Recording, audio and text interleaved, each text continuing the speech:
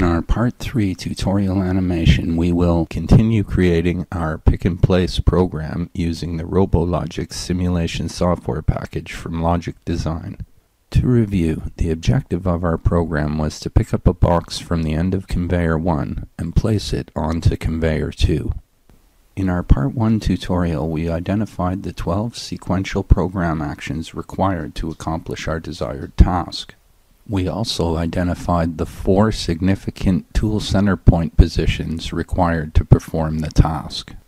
In tutorial 2, we added the instructions required for our program. At this point, you may want to pause and review the instructions listed in the program we created in tutorial 2.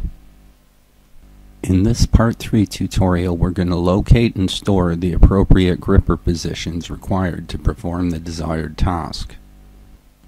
Our four identified TCP positions will be stored to the position register. With our program loaded, we click on the main button to return to the main control panel. We'll be using the jog buttons to position the tool center point at our four target positions. The A1 through A5 jog buttons are used for angular motion. Linear motion is accomplished by jogging with the X, Y, and Z buttons. We return to the main program and click on the Conveyor 1 On button. This will bring a box to the end of the conveyor and assist us in locating our target position. With our box in position, we click on the Camera 11 button to get a better view of the target location. We'll be using the A1 plus and A1 minus buttons to swing the tool center point directly over top of the box. We press and hold the A1 plus button to move the tool center point in an angular motion towards conveyor 1.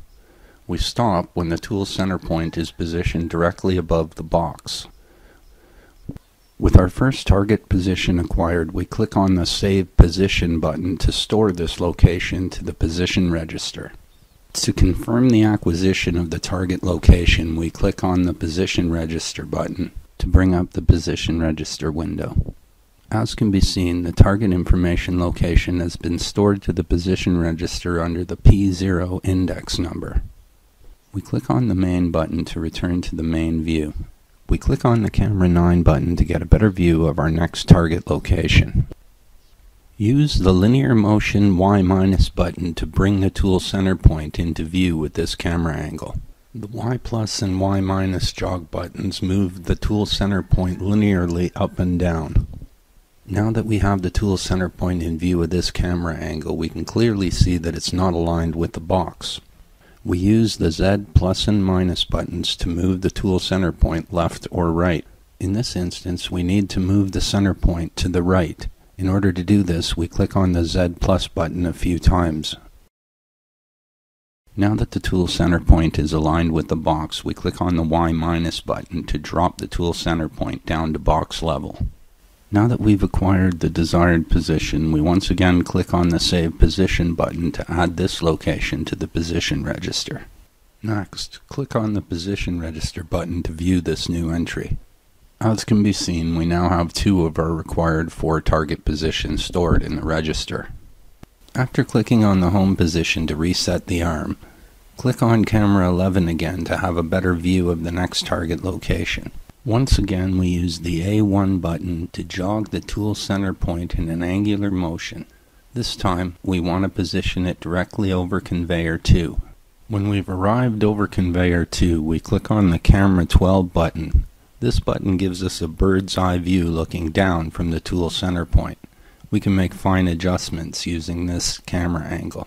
Once we've confirmed the tool center points in the appropriate location, we click on the Save Position to add this third of four desired locations to our position register. With the position saved, we return to the camera 9 view.